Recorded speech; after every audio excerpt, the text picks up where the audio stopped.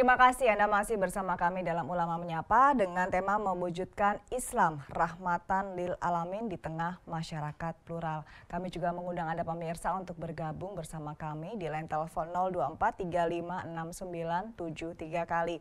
Tadi kita sudah membahas tentang bagaimana Islam rahmatan lil alamin dari berbagai aspek, dari akidah, akhlak.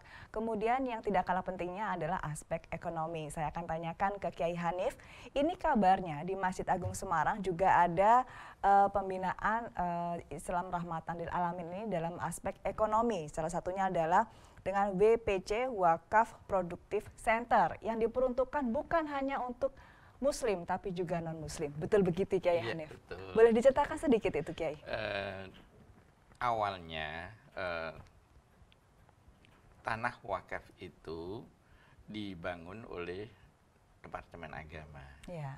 Kemudian tidak bisa berkembang. Nah, kemudian kita minta bagaimana kalau masjid yang mengelola. Akhirnya hmm. mereka sendiri merasa kerepotan, diserahkan ke masjid.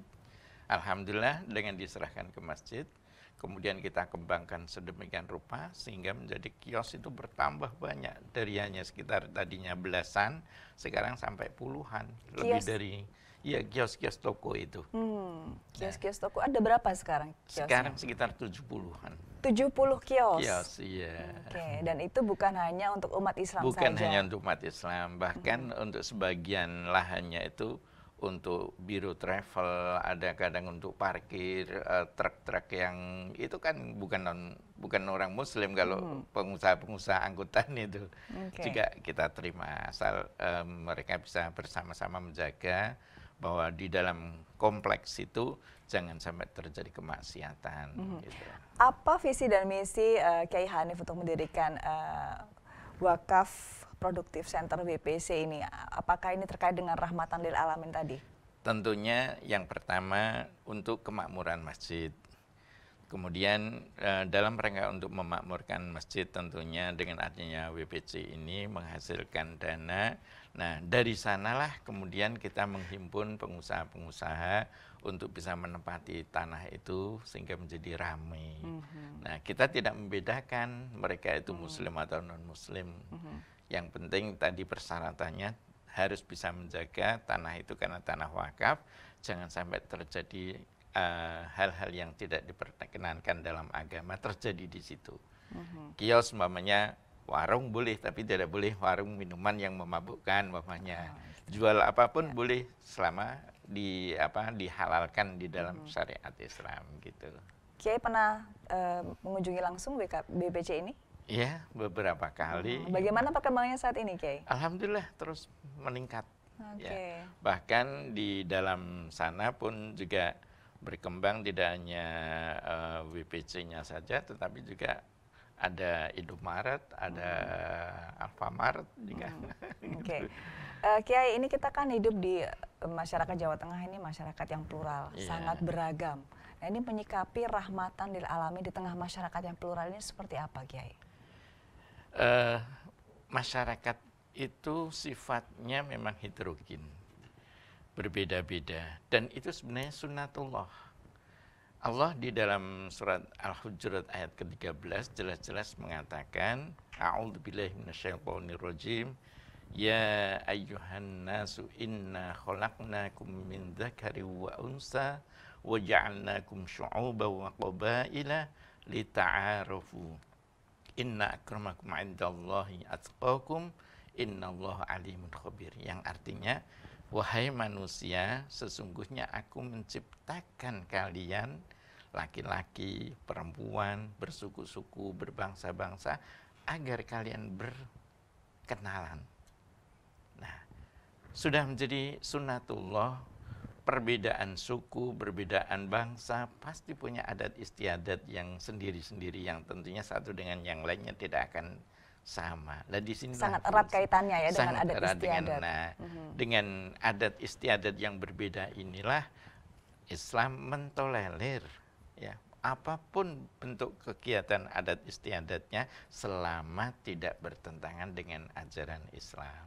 Hmm. Makanya kesenian, budaya dan macam-macam itu masing-masing daerah berkembang dan Islam tidak melarangnya selama tidak bertentangan dengan agama Islam gitu. Ya, kalau di Jawa Tengah sendiri kalau kita lihat culture-nya masyarakat Jawa Tengah ini santun begitu ya, betul, Kiai. Betul, Nah, ya. begitu uh, pada saat uh, kan ini Jawa Tengah ini kota yang uh, transit begitu ya, karena Betul. ada di tengah-tengah ya, Mm-mm. ada Jawa Barat, ada Jawa, Jawa Timur. Timur. Apalagi di selang um, menjelang weekend selalu menjadi kota tujuan wisata Betul. begitu.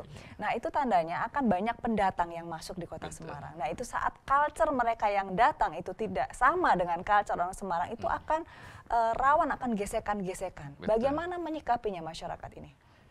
tentunya eh, kita harus mendahulukan ya mendahulukan sikap baik kita terhadap orang lain kita tunjukkan seperti apa yang pernah terjadi pada zaman Rasulullah Oke. di Madinah itu ada masyarakat yang non Islam ada Yahudi ada Nasrani Ya. tapi karena Rasulullah menunjukkan kebaikan-kebaikannya akhlaknya yang baik sehingga mereka tidak ada masalah berdampingan hidup berdampingan tidak ada masalah Jadi bisa dikatakan kalau rahmatan lil alamin ini adalah basicnya adalah akhlak dulu ya Kiai. akhlak. Tapi ketika kita berbicara akhlak, sebenarnya itu ujung atau muara dari semua ajaran Islam. Contoh, sholat. Kita tidak hanya sekedar diperintahkan sholat untuk memenuhi syarat rukunnya, enggak. Bagaimana dengan sholat bisa mencegah seseorang tadi untuk tidak berbuat kejahatan, tidak berbuat kemungkaran.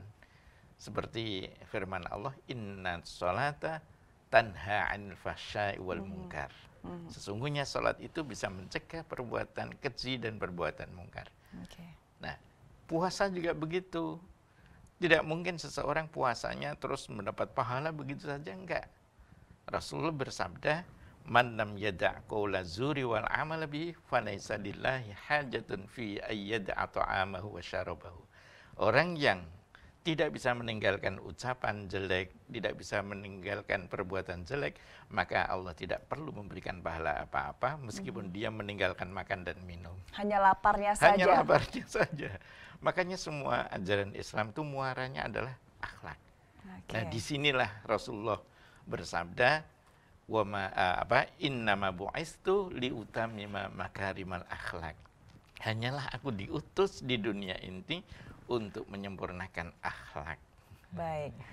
Rahmatan lil alamin ini sering disalahartikan, bahkan dewasa ini erat Iya. dikaitkan dengan toleransi dan intoleransi. Itu bagaimana sesungguhnya, tapi kita akan bahas setelah jeda berikut. Kayak kita Iya. harus break dulu.